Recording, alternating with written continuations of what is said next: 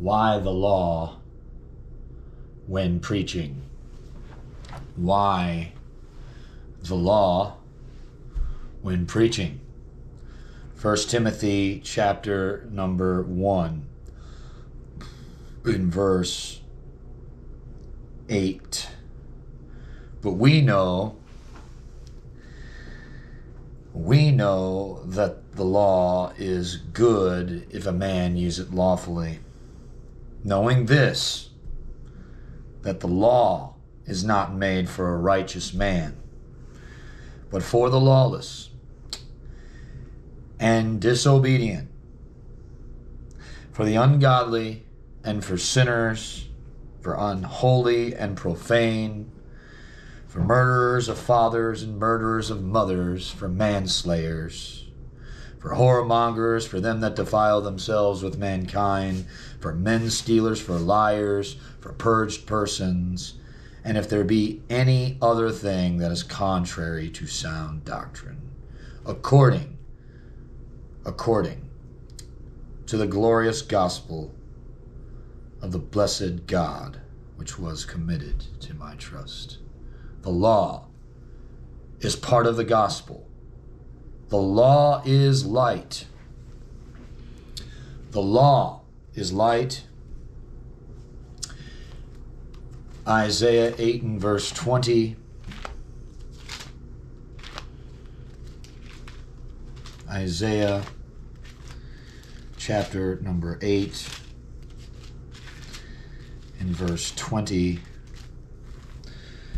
to the law and the, to the testimony, if they speak not according to this word, there is no light in them. To the law and the testimony, if they speak not according to this word, it is because there is no light in them. Proverbs 6:23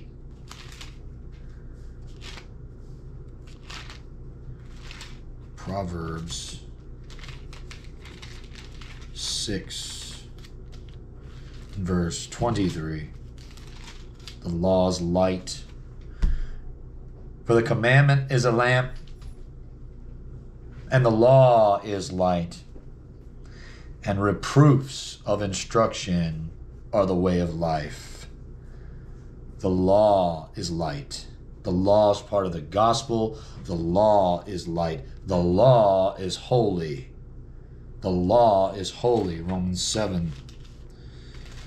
Romans 7 and verse 12. The law is holy. Wherefore the law is holy, and the commandment holy and just and good. The law is part of the gospel. It's light, it's holy. The law is perfect. Psalm 19 and 7. The law is perfect. The law is perfect.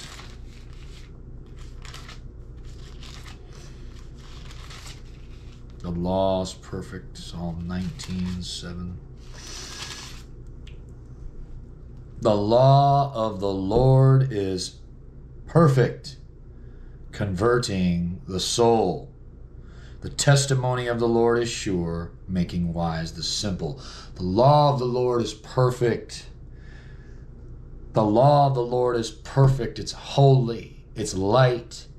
It's part of the gospel. It's not made for a righteous man, but for sinners. The law is good if used lawfully. It's part of the blessed gospel, he said. part of the gospel. The law is and was. The law was, if you're born again, the law was your schoolmaster. It is a schoolmaster. The law. The law is a schoolmaster, or if you're born again, it was your schoolmaster. Galatians 3 and 24.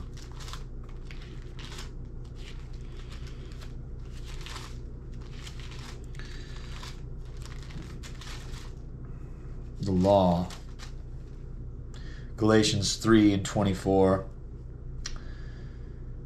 But before faith came, in verse 23, but before faith came, we were kept under the law, shut up unto faith, which should afterwards be revealed. Wherefore the law was our schoolmaster to bring us unto Christ, that we might be justified by faith. The law, if you're born again, was your schoolmaster. The law revealed itself. The law is holy, it's perfect, it's light, it shined on you. It revealed how holy it was. And it's perfect for converting the soul. Why? Because it shows your need. It's a schoolmaster to show your need for Jesus, to show your need that you've sinned, to show your need that you need to repent, and you need to put your faith in Christ and what He's done on the cross. It's a schoolmaster if you're lost, and it was your schoolmaster if you're born again. So it's part of the gospel. It's light, it's holy, it's perfect, it's a schoolmaster, and it is the knowledge of sin. Romans 3 20. Romans 3 20. The law by the law is knowledge of sin. Verse 20, therefore, by the deeds of the law, by the deeds of the law, there shall no flesh be justified in his sight. For by the law is the knowledge of sin. By the law is the knowledge of sin. The law is part of the gospel, 1 Timothy 1 8 through 11.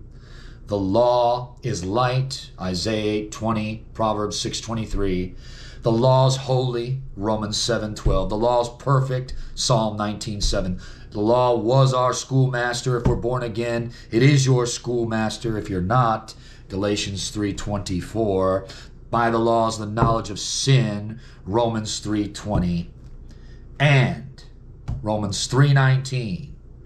Now we know that what things soever the law saith, it saith to them that who are under the law, that every mouth may be stopped, and the whole world and all the world may become guilty before God. Whatsoever things the law saith, it saith to them who are under the law. The law must be preached. The law must be preached. It's part of the gospel. It's light, it's holy, it's perfect. It's a schoolmaster to bring us to, and it was our schoolmaster if we're born again, the repentance and faith in Christ. By it is the knowledge of sin, and whatsoever things it saith the law. Whatsoever thing the law saith saith to them who are under the law. That every mouth may be stopped and all the world may become guilty before God. The law. The law must be preached because the law points to Jesus. It points your need, points you to your need for Christ. It reveals who you are. It shows you that you're under it. And so, are you under it today? Examine yourself. Because whatsoever things it saith, it saith to them who are under it. The law.